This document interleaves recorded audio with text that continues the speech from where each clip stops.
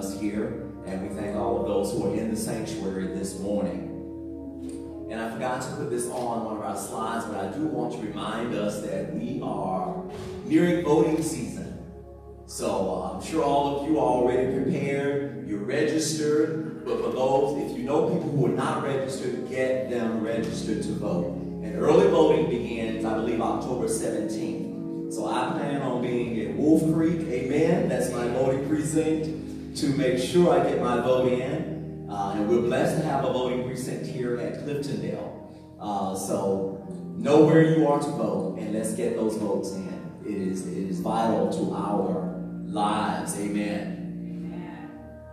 I want to thank our United Methodist men, and I'm only going to call one name, else I get in trouble. But Brother Billy Dukes pulled together a phenomenal fish fry on yesterday. Amen.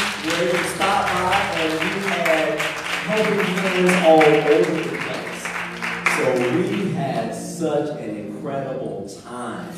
And even though God blessed us financially, I was telling uh, folks, I said the, the greatest blessing came from not only the fellowship, but the community engagement. All the people that we met from the community who came out.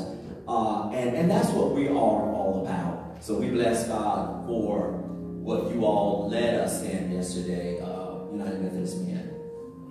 Uh, tomorrow, uh, one of the reasons, well, the reason why uh, uh, I pulled Minister Ray to preach today is because I was tapped I'm leading worship at an event tomorrow morning at Marietta First. And uh, it was one of those voluntold things, else I wouldn't have taken it. But I'm leading the worship uh, at what's called a Bishop's Day Apart. And it's a gathering for North Georgia Conference for all of the ministers of the many churches and our bishop. And uh, as I was pulled into it, I volunteered our choir. Amen. So they will be with me tomorrow morning alongside a few other uh, singers. Some of my siblings will be with us as well, but it is an honor. So I'm asking for your prayers. Uh, it is at 10.30 tomorrow morning, so please be in prayer with us that God's glory goes forth. Uh, we first, you know, bless God for this and want to honor God, but also this is a great time to lift, lift and up. Amen? Amen. Amen. That's exciting. Amen. Amen. Also, coming up on October 23rd, we are planning another outdoor event. Uh, and that event, I shouldn't call it an event, it's a worship service. We'll be having a worship service on the 23rd of October, which is our 58th church anniversary. So you'll continue hearing uh, different things that our worship team is planning for that wonderful event. It will be uh, an outdoor worship service as well as a picnic brunch. So great plans are, are coming forth. So please spread the word. Uh, again, you can remain in your cars and listen. You can sit out on chairs. You can bring your own chairs. Uh, you can sit out on blankets if you like. Uh, we just want to have a good time in God. So please spread the word. Church anniversary, October 23rd at 10 a.m. on the outside. Also, our young adult ministry that, that we're uh, kicking off again, reigniting we've been, been invited to uh, Young Adults Heart on Fire retreat, which will be held at East Point, Mallalieu. So we're asking parents with youth, uh, this will be a great event. Uh, the church will be purchasing the books. The book was written by one of our own pastors, Reverend Robert King, who is pastor of Golden United Methodist in Douglasville. Uh, but the event will be at uh, Mallalieu, East Point, Mallalieu, in East Point and it will be hosted by Poplar Spring Young Adult Ministry along with East Point Mallalieu. So young people, uh, just parents, give the office a call and we'll get you signed up so that we can enjoy that event. The 31st of October, trunk or treat. So please, please, please tell your friends, tell your neighbors to come on out so we can get rid of this candy. Amen. My favorite are Reese's cups. So I'm going to buy those, and if I can't give them all out, I will be eating them. Amen. So help me out here. So fill up your trunks and come on out, and let's have a great time on the lawn. We, this is why we we expanded this parking lot so we can do wonderful events like this for the community. So we bless God for that. Also, for children 5 to 11, our children's church is on, in the lower level of the sanctuary. Uh, as you see young people coming in, the ushers will help guide you. And um, it, again, it is downstairs with Mrs. Starricks. Ways to give at the. We love electronic giving, we love paper giving, we love it all. Amen. So, um, you can give at any time. We have cards in the pews that you can scan. Take, it takes you to the website. Also, after the sermon, we will be receiving the offering the old-fashioned way, so we make it uh, convenient for everyone. And lastly, hard copies of these and other announcements are available in the narthex. So again, we bless God for you being here. And at this time, we want you to turn to page 77 in your hymnals.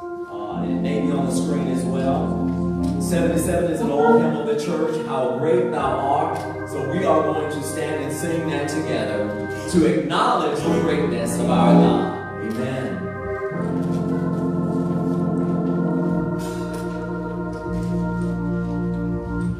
Oh Lord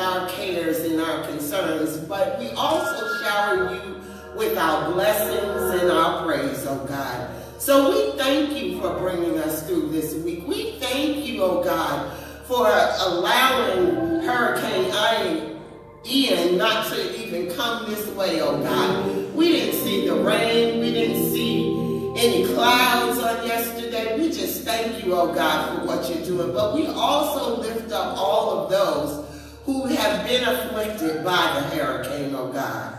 We ask that you cover them and watch over them, oh God, that you keep them protected, oh God, even as it is still traveling up the northeast coast, oh God. We ask you right now for your continued mercy and blessings on all of those who have been in the past, all of those who have been have their houses torn apart, oh God, and have their lives ripped up, oh God. Allow them to know that they still have you, and therefore they have the most important thing that is necessary for life, oh God. We bless you for this time together in prayer. We bless you for this time together in worship, oh God. We ask that you just bless our pastor that will come today, our minister, with the word, O God. Anoint him from the top of his head to the soles of his feet, O oh God. Allow him to have a rhema word for the people today that will stir up the inside of us, God, and keep us going and keep us on our way. We just bless you for all you do and all that you are. We bless you for all the ministry and all the ministry that goes forth from this place we call Cliftondale. We thank you praise you. We honor you. We give you glory. We magnify your holy and righteous name. It's in the name of Jesus that we do pray. Amen.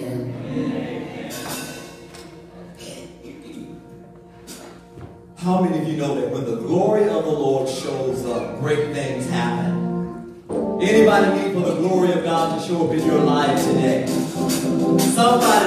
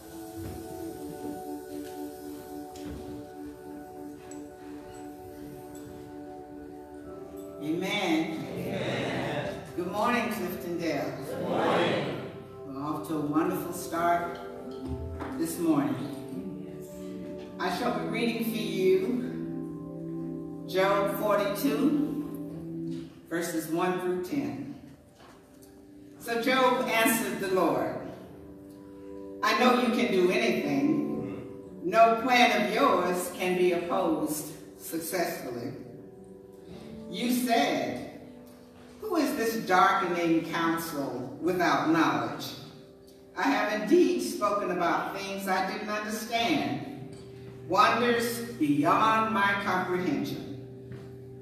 You said, listen, and I will speak.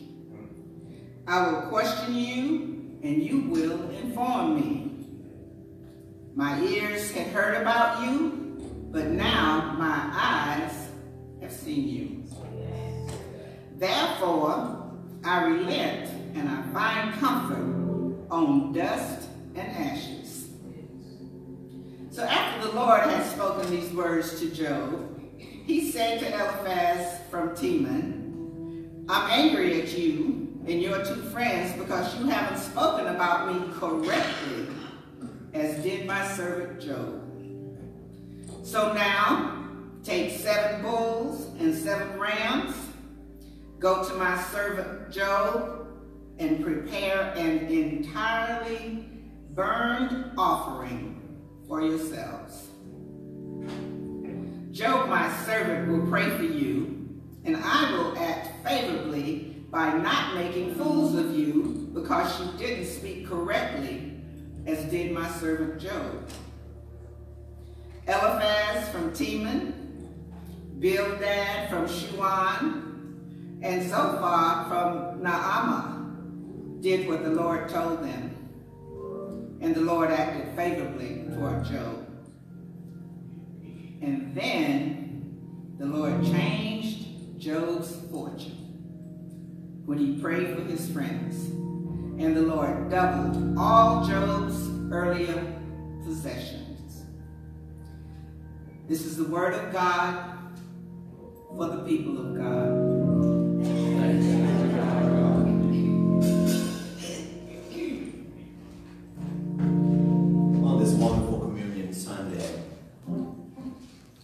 The story never gets old that he came from heaven to earth to show us the way. From the earth to the cross, my debt to pay. From the cross to the grave, from the grave to the sky. Lord, I lift your name on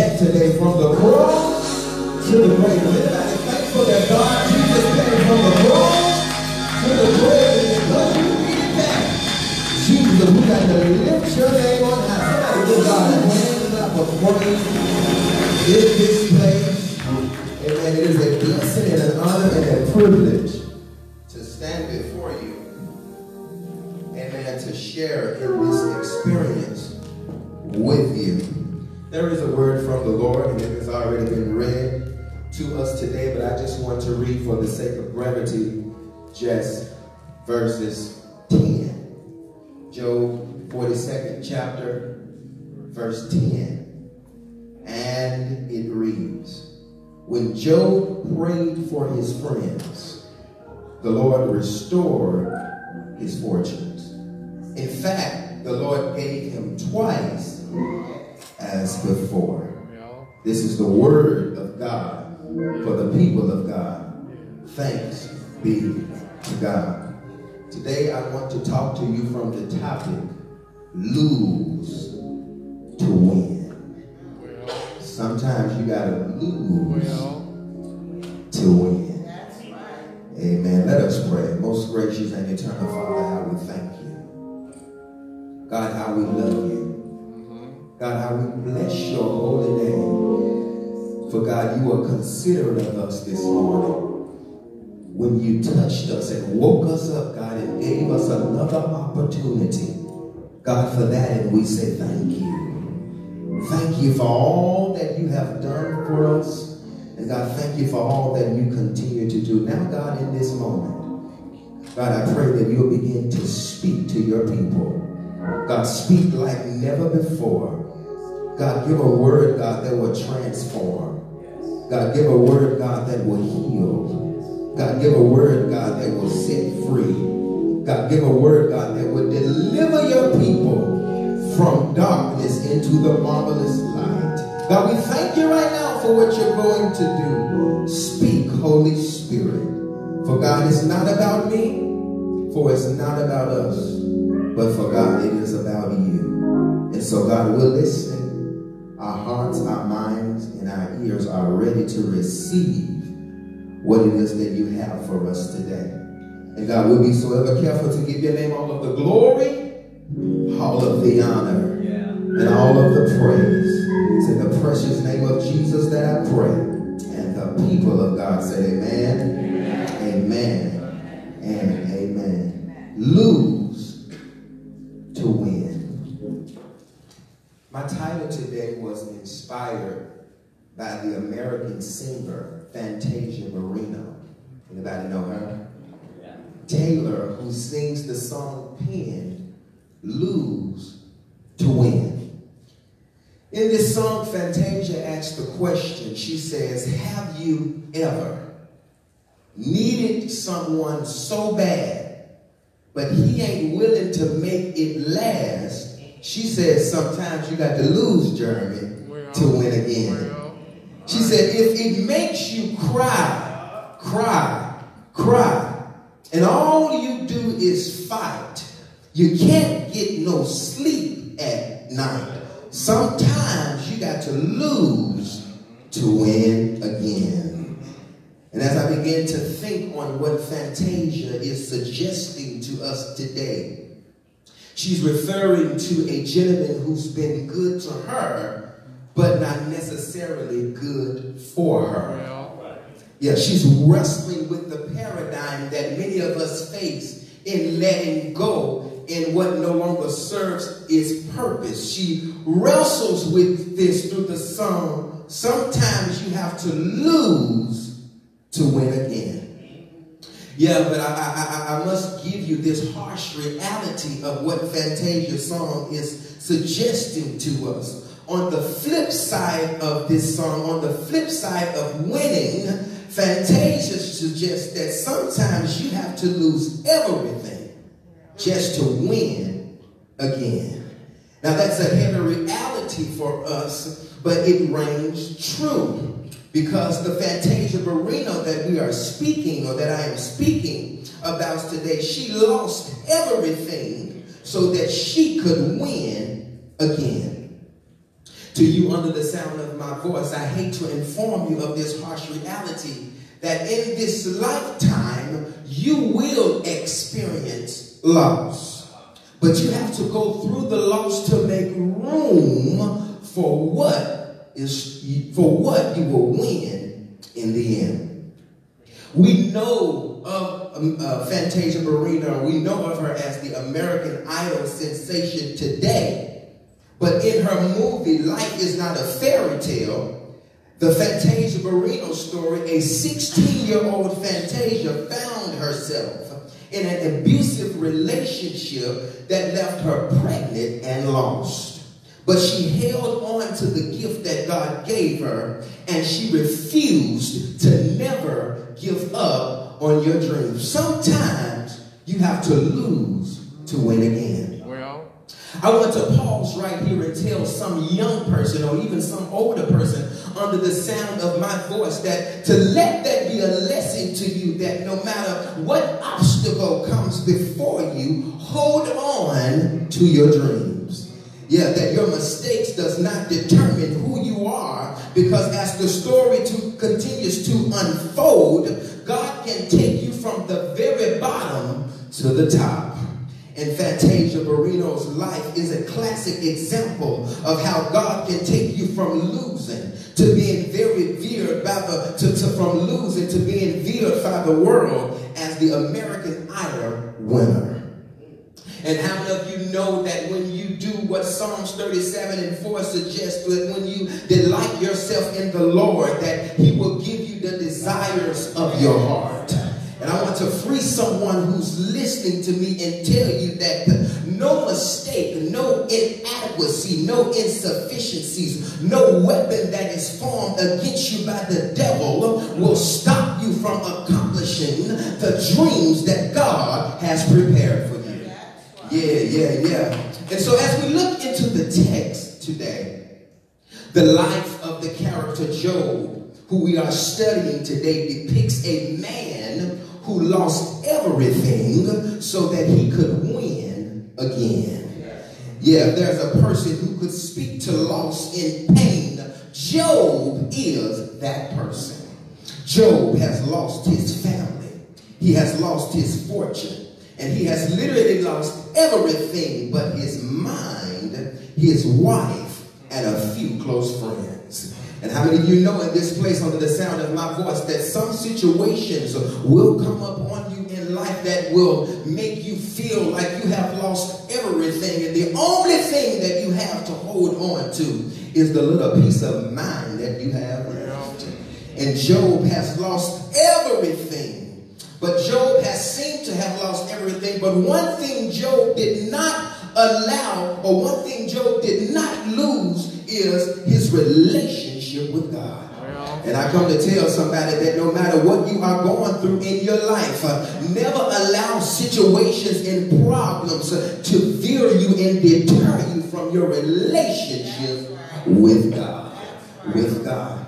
And so, my brothers and sisters, right here, I just want to pause parenthetically and lift up three ways Job went from losing to winning. Can I do that? Can I do that? All right, the first thing that Job did was he repented. Well, he repented. All right. It's found right here in verses, it's found right here in chapter 42, verses 6. It says, I take back everything I said, and I sit in dust and ashes to show my repentance. Now, to give clarity to you to what's going on here in the text, Job is having a conversation with God on behalf of his friends who are accompanying him as he go through his bad situation.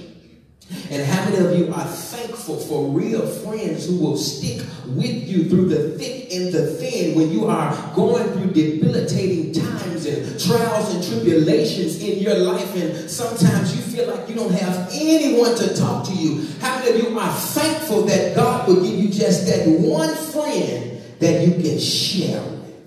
And so Job, he's there with his friends and he's talking to them and they are in conversation. They're conversing amongst one another. And so, of course, when you have real friends who care about you and who care about what you are going through, they tend to give their opinion on your situation. Don't they? Won't they give an opinion to your situation? Well, Job's friends were recorded in chapters 4 through 25 of Job giving many inaccuracies, primarily involving why God allowed his people to suffer. Yeah, this overarching inaccuracy of their belief was that Job was suffering because he had done something wrong. And as a result, they repeatedly encouraged Job to admit his wrong and repent so that God would bless him again, which, which spoke in complete direction or contradiction to what God had spoke to Job. See, Job didn't do anything wrong. In fact, God said that Job was blameless and walked upright before the Lord. Uh, but Job's friends decided to form their own opinion and narrative of, of what God was doing for Job's life. And the text says that this made God angry. Said that this made God angry. It made God angry. And God says, I am angry with you and your two friends because you have not spoken the truth about me. Footnote, be careful who you allow to speak into your spirit while you're going through. Yeah, when you are going through, that's when the devil will try to catch you off guard at your most vulnerable state. When you are at your most vulnerable state, that's when the devil will try to come and impose his point of view on you. Uh, but you are going through this because God allowed you to go through it. Yeah, you need to do this, or you need to do that, or you are going through this because um, of whatever they come up with. Friends will give opinions on your life when they have no inclination of what's really going on. Or just as his own wife said, Job, I don't know why you are holding on to this little thing you have in God. Why don't you just curse God and die? Yeah, his own wife told him to curse God and die. How debilitating is that when you are going through, when you are at your lowest state in your life, the support that you're supposed to have in your spouse, the only one that's with you, she look at you and say, why are you holding on to this faith? Why don't you just curse that God that you are serving and die? Just negative because they don't understand the purpose that God has placed in your life. See, I want to tell somebody under the sound of my voice, they don't understand it because it's your purpose. They can't speak to it because it's your purpose. They can't speak to your situation because it's what God called you to go through. And so you got to be careful who's in your ear trying to tell you how to get out of a situation that they didn't bring you through. You got to be careful not to rely on man because you to this situation and man can't bring you through it. Do I have any witnesses under the sound of my voice to know that God will carry you out of every situation that you're in? He will carry you out of it into a new season. I don't want to get ahead of myself, so you have to be careful who's in your ear because it's your dream. Yeah, it's your destiny. It's your pain. It's your story. It's your story to tell. And so Job understood that he had done nothing to deserve the sufferings that he was going through. That the trials that he was going through was not because of his behavior Instead, God used the sufferings as a test and as a part of God's sovereign plan in Job's life. And so Job repented to God for even entertaining the conversations that went against God that he had already told Job. He already told Job, he said, I'm testing you because I know what I have put on the inside of you.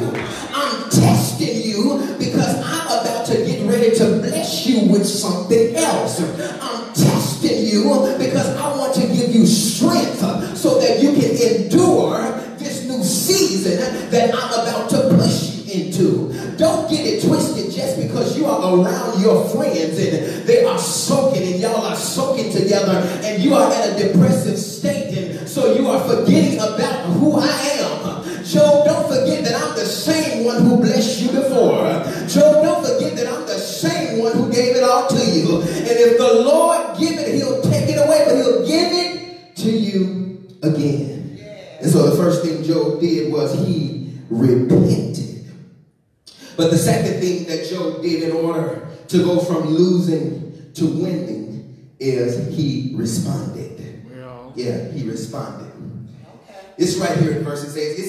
servant Job will pray for you. This is God talking to the friends. And I will accept his prayer on your behalf.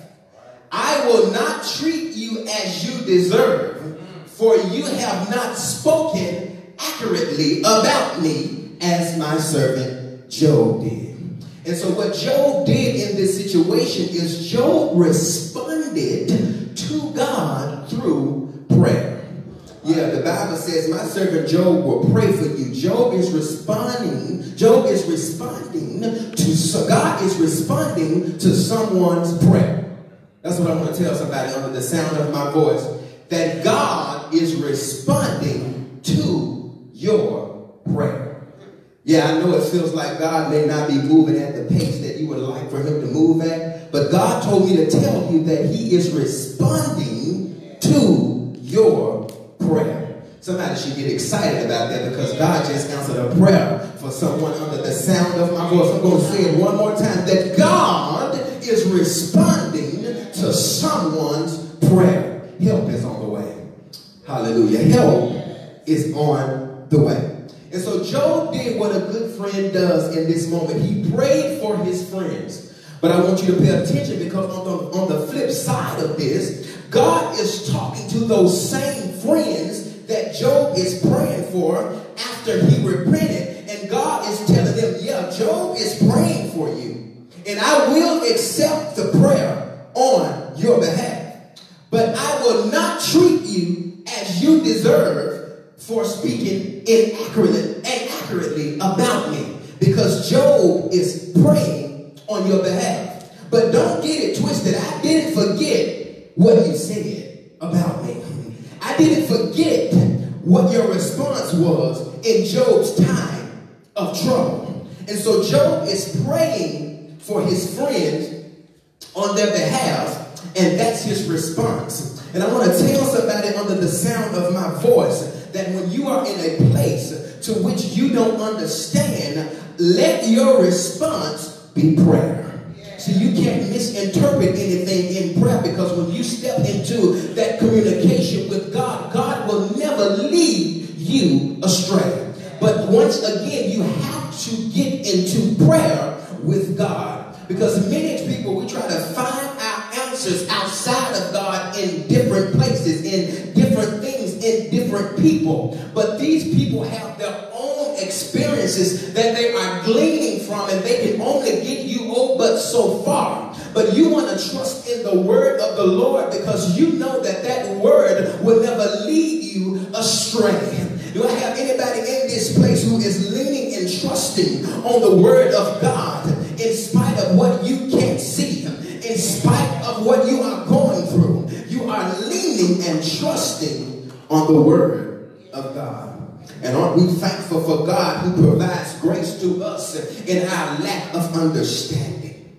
Job never lost hope as he was going through. Job never lost his faith. And because of this, God gave Job my final point for today, and that is restoration. Somebody shout restoration. Restoration. restoration. Verse 10 says, When Job prayed for his friends, the Lord restored his fortune.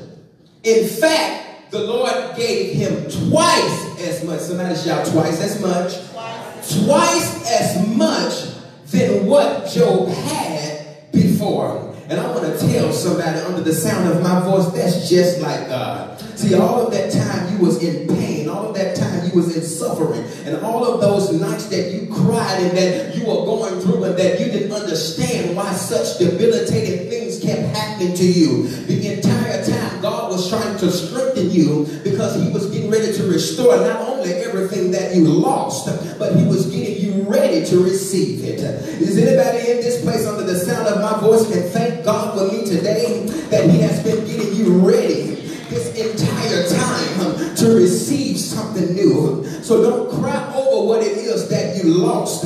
But God is getting ready to restore everything that the, that the worm has eaten in your life.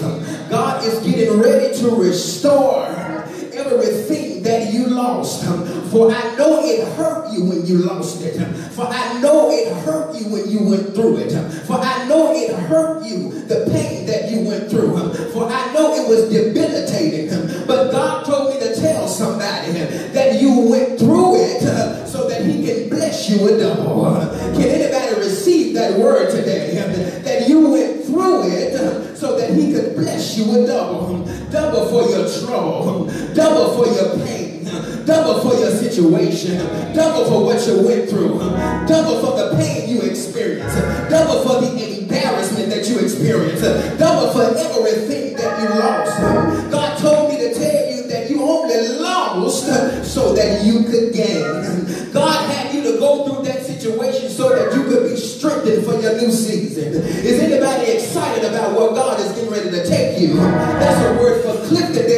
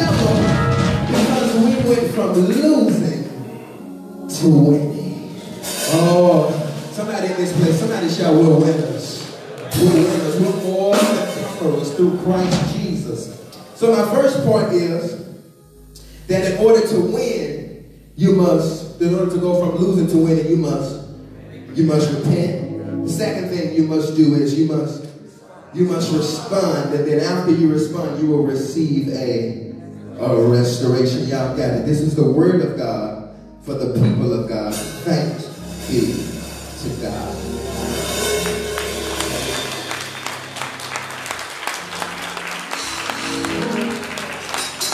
Bless God for the word that has gone forth on this day. Did you receive it? Did you hear it?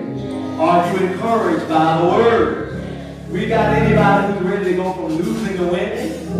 Oh, you know, I was created as a winner. Not because I am who I am, but because I belong to God. I am fearfully and wonderfully made. We all are. So we were not created as losers. We were created to win. And I hope you're ready to go from this place today and start winning. When somebody else told you, uh-uh, it's not going to happen, you were born on the wrong side of the tracks. You were born and not able to get the right education. You don't have the right bloodline. But the only blood that matters is the blood that comes from God through Jesus Christ, His Son. And we know that it will never lose its power. How many of you know it's got power? It had power over 2,000 years ago. It's got power right now. So there's one who's not received Jesus Christ as your Lord and Savior. I want you to do that today. You just come forth and we will, we will pray with you. Because that's where it starts. That's how you begin to win. You receive Jesus Christ as your Lord and Savior. And it's very simple. You just say, I yield. I yield. You ever had to just look in the mirror and say, okay, I give up. God, take it, handle it, because I can't do it. That's all you have to do when you give your life to Christ, because He does the hard work. If you don't have a church home, because you need a covering, we would love for you to join us here at Cliftondale Church. For this is a place where God dwells, where you can go from losing to winning. The psalm simply says, We offer Christ to you.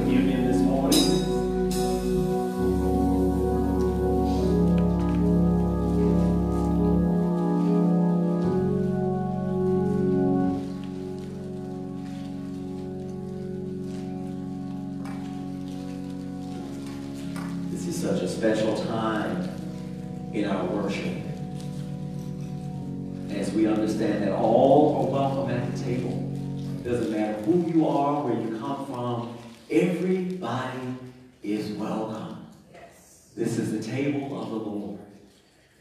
So we praise God that there is an open table in this house. Christ our Lord invites to his table all who love him, who earnestly repent of their sin and seek to live in peace with one another.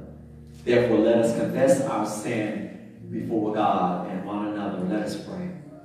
Merciful God, we confess that we have not loved you with our whole heart. We have failed to be an obedient church. We have not done your will. We have broken your law. We have rebelled against your love. We have not loved our neighbors, and we have not heard the cry of the needy. Forgive us, we pray. Free us for joyful obedience through Jesus Christ our Lord. Amen. The Lord be with you and also with you. On the night in which he gave himself up for us, he took bread, gave thanks to you, broke the bread, gave it to his disciples, and said, Take, eat. This is my body, which is given for you. Do this in remembrance of me. When the supper was over, he took the cup, gave thanks to you, gave it to his disciples, and said, Drink from this, all of you. For this is the blood of my new covenant, poured out for you and many for the forgiveness of sins. Do this as often as you drink it. Do it in remembrance of me. At this time, let us now take the bread. Eat the bread, which is broken for you and for many. Now take the cup and drink of his precious blood that was poured out for all of us.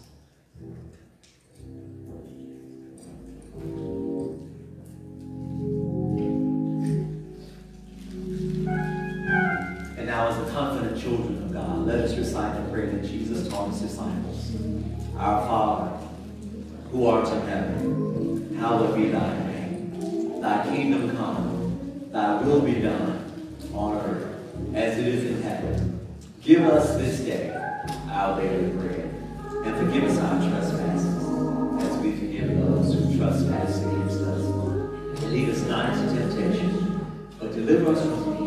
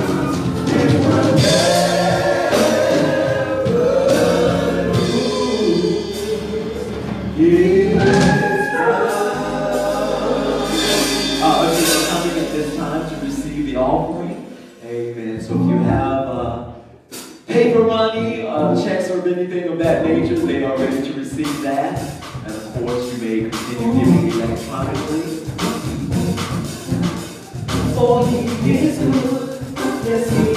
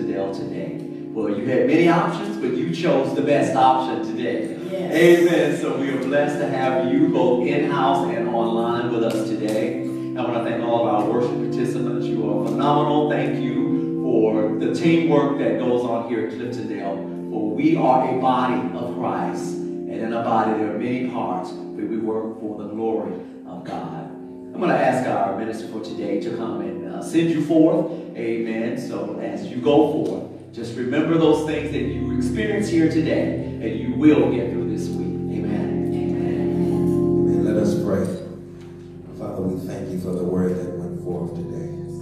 God, we thank you that we have just went from losing to winning. God, that when we walk outside of these doors, God, God, that we will win. And God, not only will we win and we won't be selfish, but God, we'll tell someone else how they can win. God, we thank you so much for all that you're going to do. And God, we thank you for the prosperous week that we're going to have.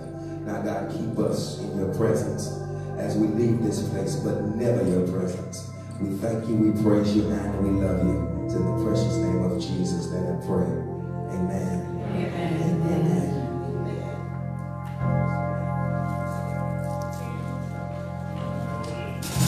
Amen.